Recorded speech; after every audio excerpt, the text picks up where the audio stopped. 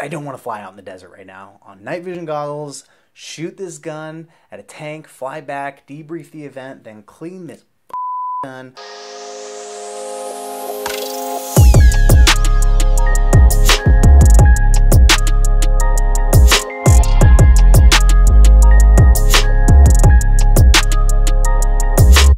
What's up, everyone? Jeff Jorgensen here. Today I'm going to be talking to you about the seven things that I wish I knew before I joined the military.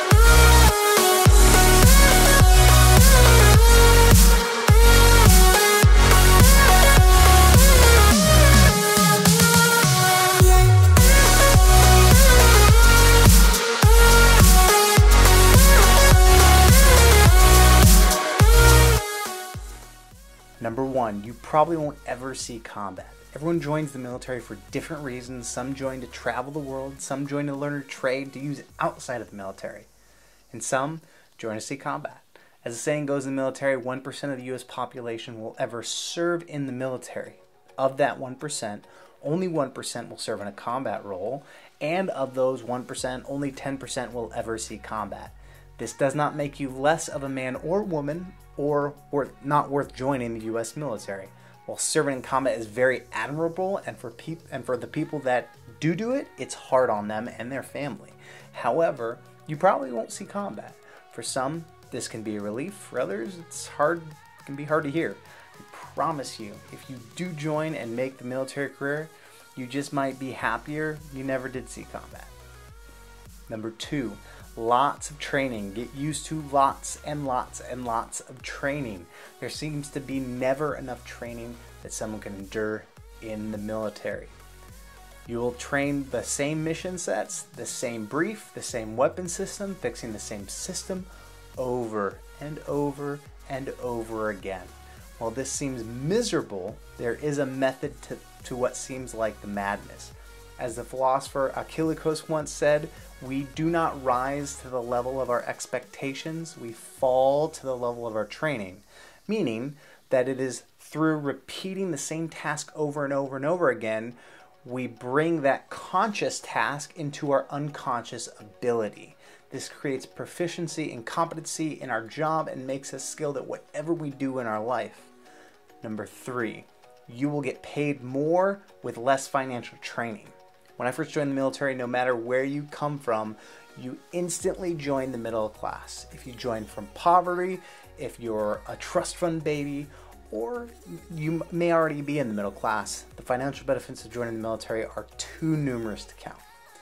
This, however, means at a young age, you don't develop a good financial literacy. The military will give you very little guidance on your own finances. This will not properly educate you on how you should prepare yourself for your future financial goals. Now, this is up to you to do. The great thing is, there are many free resources in the military that will give you the financial literacy you need in order to win with the money that you make while you are in the military.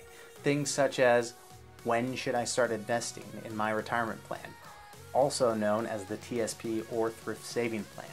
What fund should I put my money into in the TSP? How should I budget my money? What type of budget is best for me? Like I said, before there are many great free resources out there and classes on base that will guide you in your financial journey to success. Number four, you will do things people dream about doing and people will hate doing them. I clearly remember when this happened to me. I saw the flight schedule the night before. I saw my name on a gun shoot, not just a gun shoot, a recurrency shoot for the what they call the GAU 21, seen here. I saw my name on it and said out loud,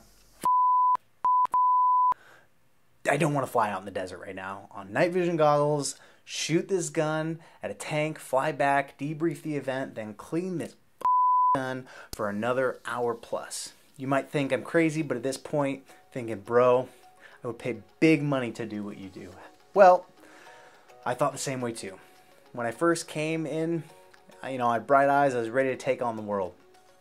That all changed when you quick, quickly realized that the military you joined isn't what you thought it was. Shooting guns becomes a chore, and cleaning them even more so.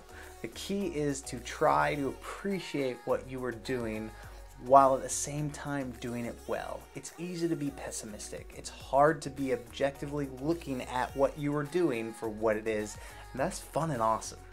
Number five, same people just wearing a uniform. Now you're in the military and you figure out very quickly that people you thought would be that stalwart soldier, airman, sailor you thought they would be, they aren't. They're the same people you grew up with. They are even from all over the country and, and hold very different belief structures. Deep down, they seem like the crap you left. This doesn't happen to everyone, but again, is a pessimistic view of the situation. Understand some people change with time, some will stay the same. The only difference between the civilian sector and the military is the experiences military members run into on a daily basis very different and create many different opportunities for growth. However, some of your peers won't capitalize on them. On these opportunities, which brings me to number six college is free. It's free. College is dang near free for your kids and for you. Each service has a form of tuition assistance, whether it's fully funded, meaning they pay for the entirety of your classes or not. It's branch specific.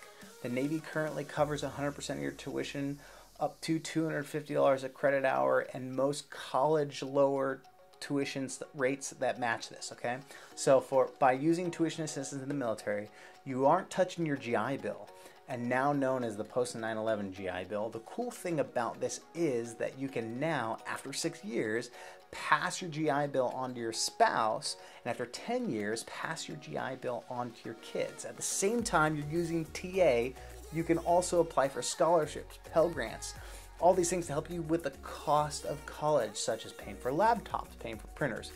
Here in my life, this is how it's applied. I'm about to graduate with my bachelor's in psychology. I paid zero dollars for my entire education using TA, Pell Grants, scholarships. Uh, the TA alone in the Navy has forked over $19,000. I still have my full GI Bill, which both of my daughters have access to when they graduate high school, and right now they're only two and three years old. Number seven, your job won't be what you think it is when you joined. You watch the commercials talking about how badass you're going to be. Your recruiter told you all the cool places you're going to go see and experiences you're going to have. Then you find out that's not like that. It's not like that at all. The reason being is because a lot of people join the military based off of highlight reels. Now, what do I mean by highlight reels? I mean the cool stuff you hear about or see only accounts for a fraction of maybe 1% of everything you do while you were in the service. Now, this is not unique to the military, this applies to almost any job you'll do in your adult life. You will experience amazing things, but you also have to deal with the bullshit too. Highs are sky high, lows are very low in the military. The key is being able to deal with the lows in your career effectively while appreciating highs.